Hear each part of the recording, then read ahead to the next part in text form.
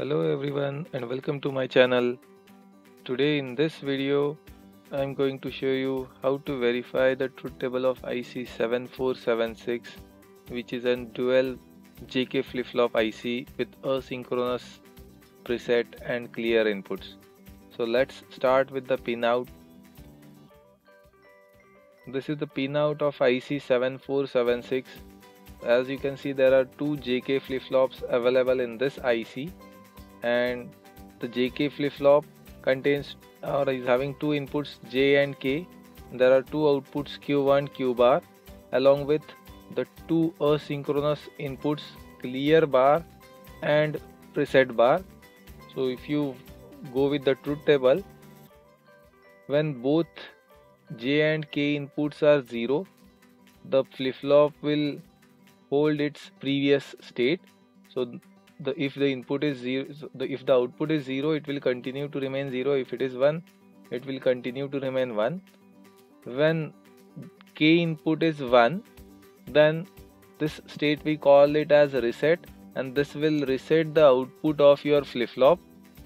So it will make the output q 0 when j input is 1 and k input is 0 this state is called as set state and in this case the output will go to 1 and when both inputs are 1 then the output will toggle.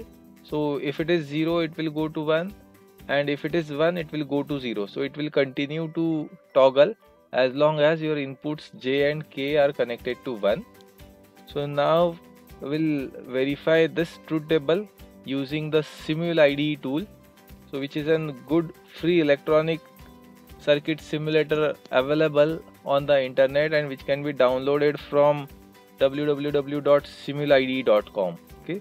So once your simulid is open go to the logic and under the IC74 series use the IC7476 which is an dual JK flip-flop with asynchronous preset and clear inputs.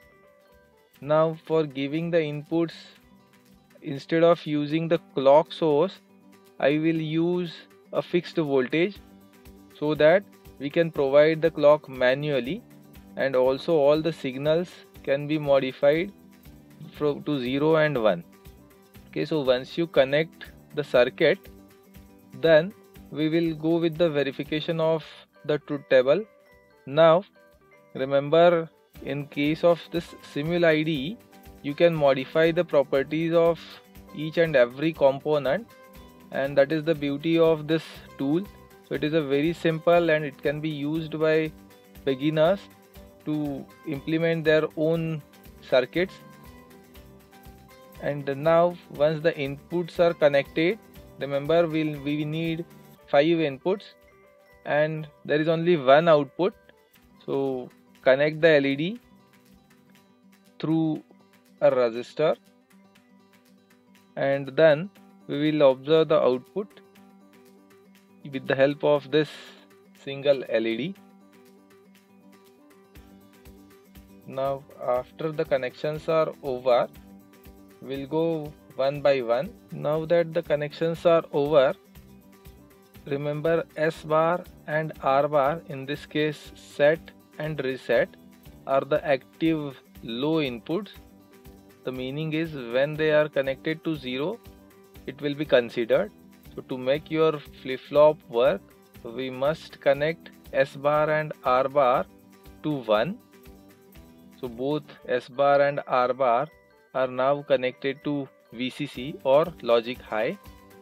Next J and K are the inputs and this is the signal that we'll be using as a clock.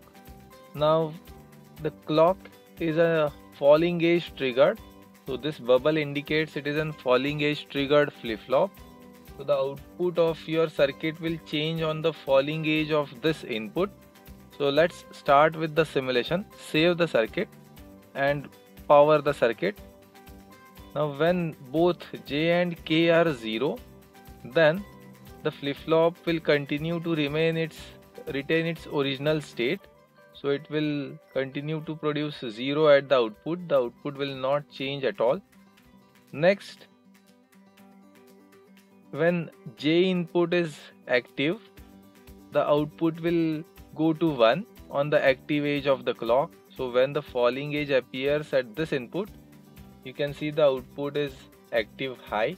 So it is the LED is on next when K input is active then on the falling edge of this clock input the LED will turn off. So this will like clearing the output of your flip-flop or resetting the flip-flop. And when both inputs are 1 so in this case J is 1 and K is also 1 then on every falling edge of the clock the flip-flop will toggle the output Q will toggle. So it will go from 0 to 1 and 1 to 0 on every active edge of the clock. Now apart from the inputs J, K and clock we have this S bar and R bar which are acting as asynchronous inputs. So right now we have output Q is equals to 1 the LED is on and now if I want to make it 0 then simply by connecting this reset bar or R bar signal to 0 we can force our output to go to 0 okay?